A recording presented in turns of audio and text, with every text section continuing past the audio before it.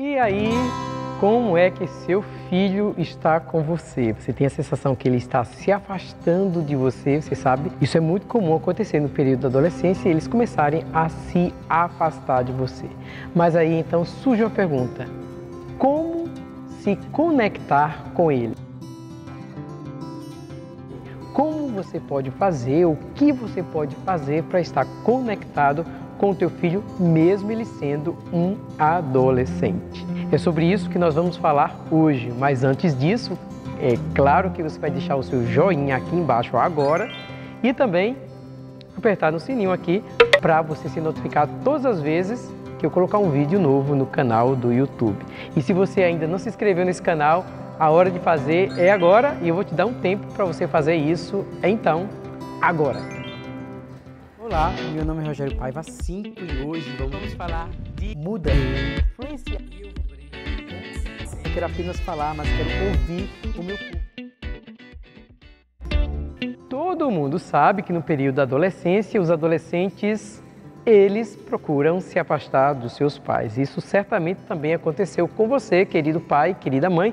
Talvez você não se lembre disso, mas isso aconteceu sim com você. E é até mesmo necessário que isso aconteça porque seu filho está se tornando um adulto.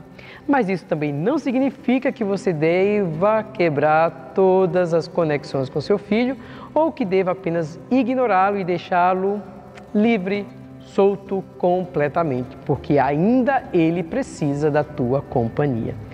O vídeo de hoje, então, nós vamos falar como você pode desenvolver a conexão com o teu filho e como você ainda permanecer conectado com ele, mesmo no período da adolescência.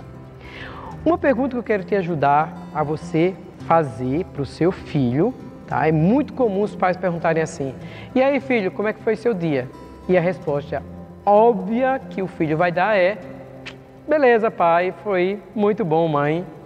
E ficar só isso aí.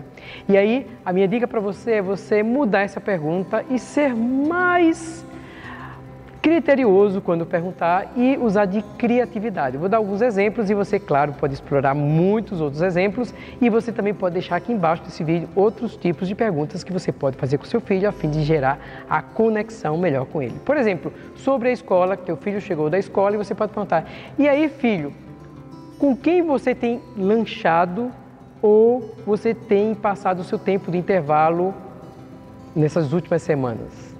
Isso é uma pergunta aberta que gera outras conversas. E aí te ajuda também a compreender como está o período da, do intervalo dele. E aí vai surgir situações em que ele vai te explicar se ele tem ficado com algumas pessoas, quem são seus amigos, e a partir daí você pode desenvolver outras perguntas. Uma outra pergunta ainda em relação à escola é perguntar ao teu filho: "E aí, filho, o que é que foi que eles acharam de tua opinião sobre determinado tópico que você ia apresentar. Se você sabe que, o que, é que teu filho está tendo na escola e talvez em algum desses aí houve um debate, houve alguma situação que ele tem que apresentar algum trabalho, e aí você pode aproveitar e perguntar, e aí filho, o que acharam da tua apresentação? O que acharam do teu ponto de vista? Eles concordaram, discordaram? E aí, qual foi a tua reação diante da oposição deles ou da perspectiva que eles apresentaram. E tudo isso são maneiras diferentes de você abrir e se conectar. Então, procura fazer essa pergunta que isso vai te gerar conexão.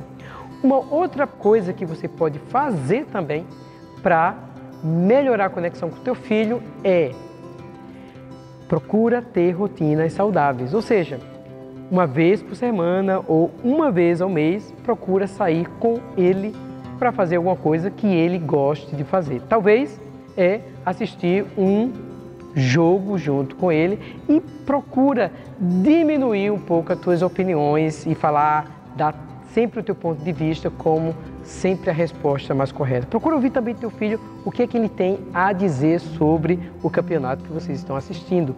Ou então, procura ter com o teu filho uma vez ao mês sair para fazer um lanche juntos, dependendo da condição financeira, ou ir a um restaurante, ou ir comer alguma coisa fora, ou fazer algum passeio, mas ter um dia definido em que vocês têm aquela rotina em que ele sabe que esse dia é reservado para vocês dois ou vocês três como família. É um dia que vocês não compartilham com outra pessoa. E isso gera então essa conexão e esse hábito saudável na família. Por acaso você tem o dia da família? Sugiro então você desenvolver o dia da família. Que tal uma vez por semana? Esse dia é o dia sagrado de vocês, como família, de estarem juntos. E outra coisa muito importante para você gerar conexão com teu filho, talvez seja a mais importante delas. É algo muito simples, mas eu percebo que para muitas famílias isso é muito, muito difícil de fazer. É dizer eu te amo. São palavras simples, mas que muitas famílias têm dificuldade de dizer um para o outro. E aí eu te desafio. Talvez você esteja pensando que isso é muito, muito simples. E por ser simples, você ignora de dizer para o teu filho todos os dias. E aí eu te desafio a você dizer para ele todos os dias: Eu te amo.